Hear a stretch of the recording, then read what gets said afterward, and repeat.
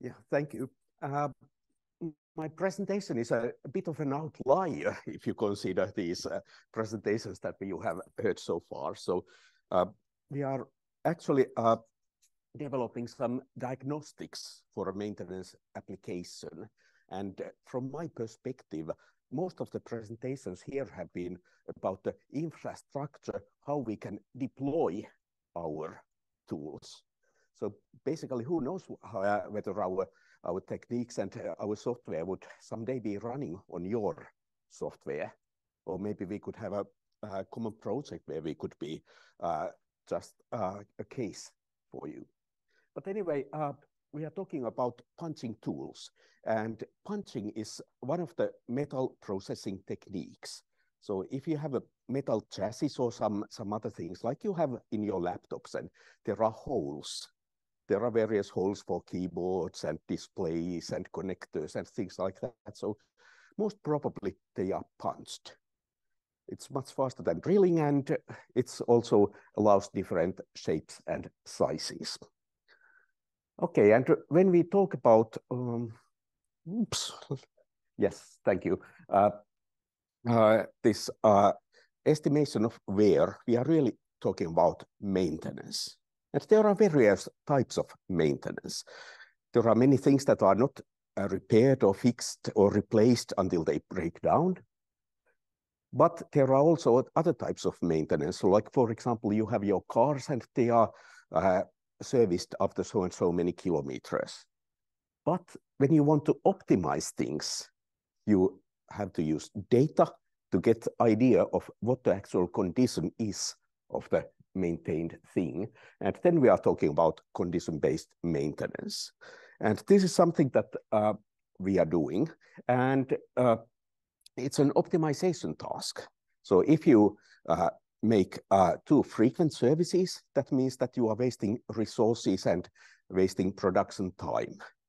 Then if you are doing maintenance too rarely, that means that there will be quality problems and unplanned outages, and again, you are wasting resources. The picture, uh, sorry, just the previous one. Uh, the uh, picture on the right-hand side is uh, just a reminder. It is from one ISO standard, so it's a reminder that this maintenance is actually a well-established significant field of industry so that there are plenty of standards, but how we implement, like this is a data processing chain, so how we do the internals, then that is up to us. Okay, and now uh, getting to the uh, actual punching. So punching is a part of a processing line so that there are metal sheets taken in, they are uh, holes are punched, then there are some cutting, some bending and, and things like that. The picture you see on the right-hand side is, uh, is actually inside from a uh, punching machine. And each of those round things is a cassette containing punching tools of various shapes and sizes so that they are taken uh, into use one at a time from those, those cassettes. Now, uh, the tools itself themselves, they consist of uh, two different parts so that there is a corresponding parts on uh, both sides, on either side of the of the metal sheet that is being punched. So that's something that hits and something that uh, gives support so that the punch is pretty clean. And if you consider the thing that we have measured, it's uh, uh, 20 kilohertz uh, vibration acceleration, and we want to output just one uh, number per punch. And so plenty of data in, little out, and if that doesn't spell edge, then I don't really know what will. Okay, then uh, just to show you what these examples are, we have we are really in uh, very early stages of uh, of this work, and there are some signatures that uh, are plotted across uh, on top of each other, so it doesn't really uh, show up very clearly. But there are things like uh, or different colors for sharp and worn punch tools, and also two different types of stainless steel that, that is being, being punched. Okay, so when we do this uh, data processing, then uh, we actually need uh, both accuracy and computational speed. Because uh, speed uh, is needed because uh, when you go to a punching machine and it's operating, you hear something that resembles a machine gun, so that so that it actually gives quite a lot of punches per per second, and then there can be this analysis functionality that needs to be done on site. And speaking of uh, of the speed, the, we saw that our selection was uh, was uh, fast enough for running on something like a Raspberry Pi. But actually, I, I feel a, a sting in my conscience now because on, in the morning there was a lot of discussion about energy efficiency. So you are optimizing the energy efficiency of the infrastructure, and we are running the Python scientific stack on top of that. So, so that is not, not the most sensitive. Well, when we started this thing, then uh, we, of course, took a look at literature, so what other people had been doing. And we found some similar applications reported where they had used uh, time series feature extraction library. And we tried that, but we were not too happy uh, about the performance, so I'll be showing that in, in a minute.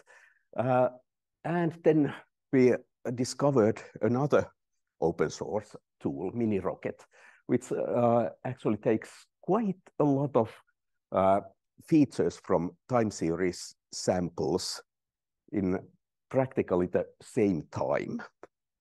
And then keeping things simple, we used logistic regression to, to actually estimate the state of the, of the uh, wear.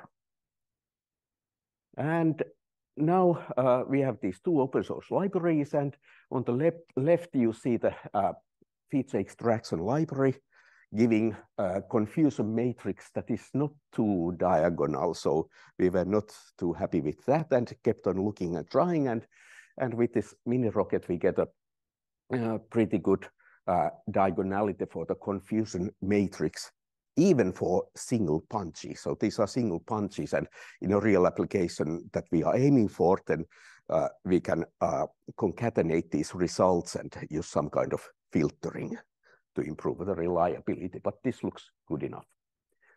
Okay, then uh, if you are thinking something like me, uh, then when you hear 10,000 features extracted, then you are immediately thinking about what about overfitting.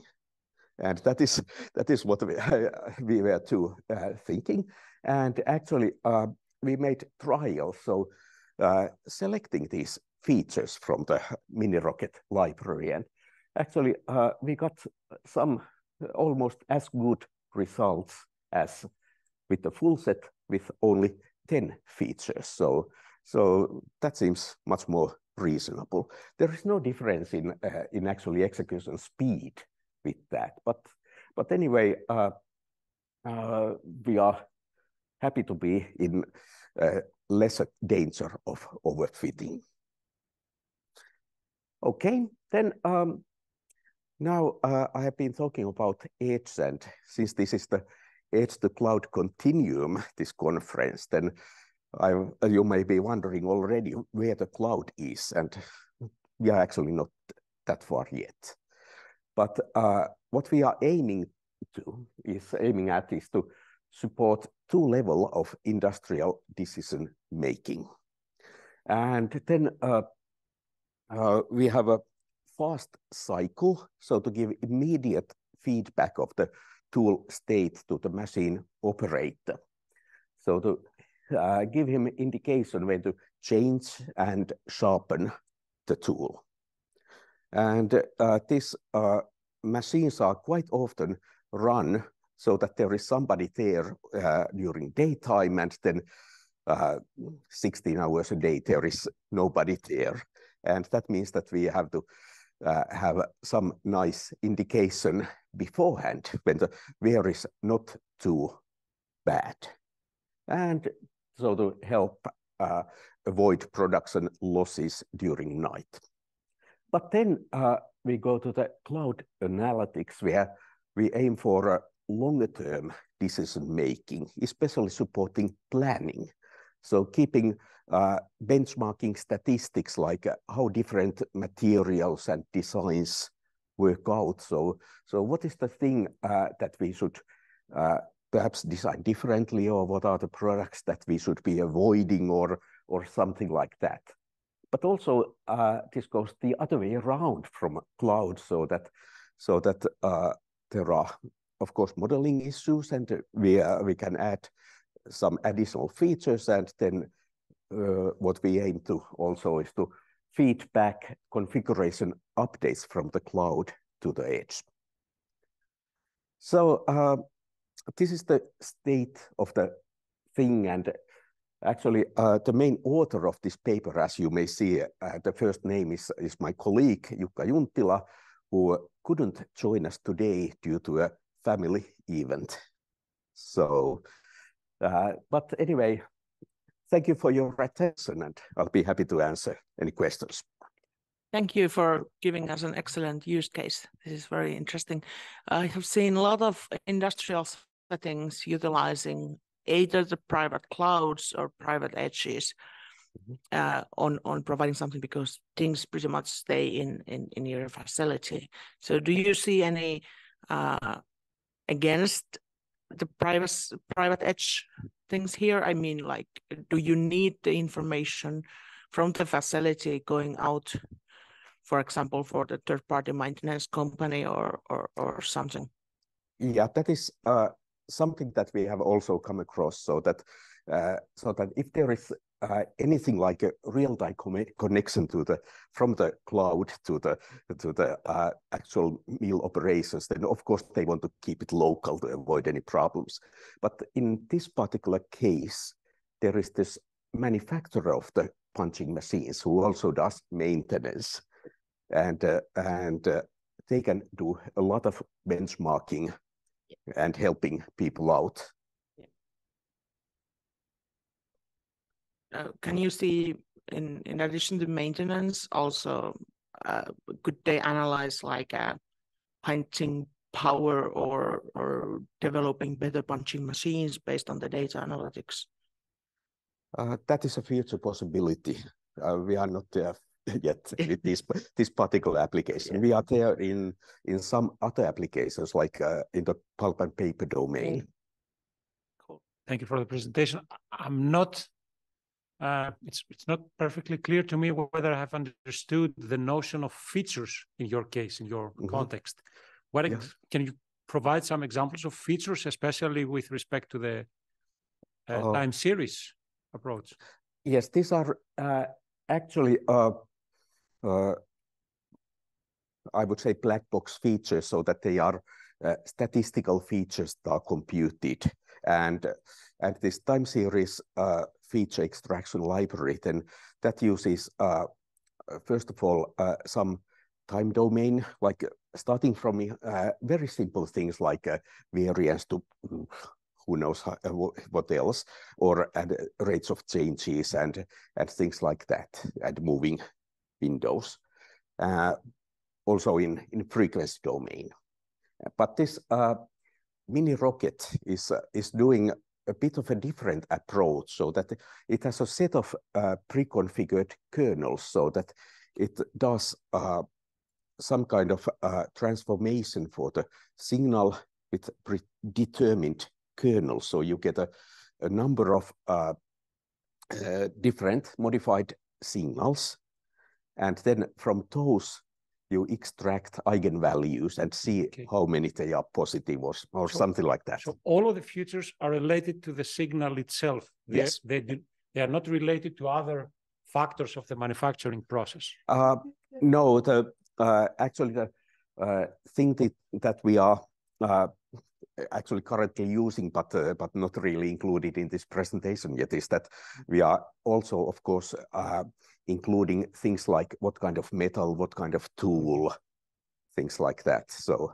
Okay, thank you. Thank you for the clarification. Yeah. Um, you said that there is this uh, interplay between the seller of the um, punch machine Mhm. that sometimes does maintenance. Yeah. I have seen other cases, I think, for um, uh, shop floor vehicles, Mhm. where the vendor was uh, adopting a business model like a leasing, and you would pay more or less depending on how roughly you were dealing with your, for example, Mhm. forklift. Is there some idea to apply this so that you know also maybe the maintenance contract could uh, benefit more or less from, let's say, the the you know how Mhm. how damaged, how how how how hard work is is given to the to the punching machine? Yeah, that is a definite possibility, but I'm not really into the uh, into the knowledge of the business relations between these two companies. Thank you. I have some question also. Mhm. Uh, uh, you have uh, quite a small data set for for training for training and verification. Have you Mhm. considered uh, making some data augmentation or or I don't know if you have some kind of simulator, mechanical simulator or something like that? Actually, um, uh, we have made that, and we are using. So we are uh, we have a, uh, very recently implemented a finite element method based simulator for for uh, this kind of phenomenon. Okay, perfect. That's it. Yeah. And another thing, you you you think uh, it could be possible to port this uh, this models application to, Mhm. for example, C in order to be implemented in a even in the in the in the in the accelerometer could be implemented. Uh, that is a possibility that we haven't yet considered actually, but but it is it is quite possible, yeah, and uh, and uh, something that we should be looking once we get everything first uh, working on on Python and Okay. then deploying it in C.